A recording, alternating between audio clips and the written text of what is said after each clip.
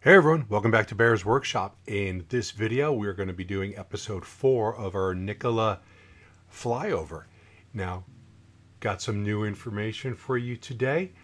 And one of the things that we're going to be doing is we're not going to call this the semi factory anymore. We're going to be calling this the pilot plant because that's what this is.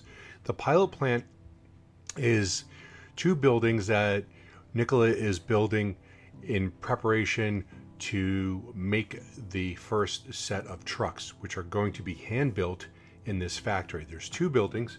One is supposed to be 275,000 square foot, and the other one is supposed to be 75,000 square foot.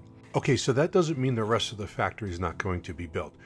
What the plan is to, is to build this out and start the hand assembly of the of the Tre trucks, and then they will build the rest of the factory they are required by their contract to have this factory done by 2024 and that is the factory for the rest of the of the trucks. So that is what the plan is and currently they are on plan. Now we see two different buildings on the site that are under construction right now.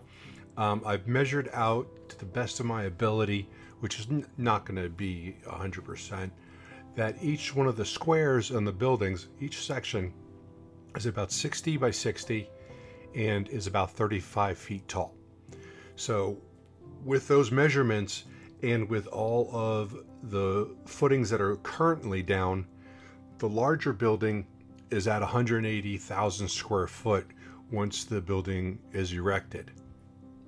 Now, the smaller building, which is supposed to be 75,000 square foot, which is the smaller footings over on the west side of the property, that currently measures at 10,800 square foot, and it's supposed to be 75,000 square foot. It doesn't mean anything because it just means that uh, there could easily be more footings being put down, and so it, there's a lot more construction to do. Now, since our last video, there has been a lot more uh, work done, and our last video was only uh, three days ago.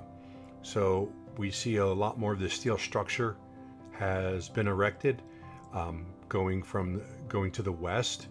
Uh, they've got two more sections done. They've got the some of the roof trusses up, and uh, they've got the rest of the roof trusses in the in the area. And it looks like they'll be raising that this week. Uh, also, they have a large trench going in that looks like uh, something for a very large uh, footer or uh, some sort of foundation. we did a little flyover of that too.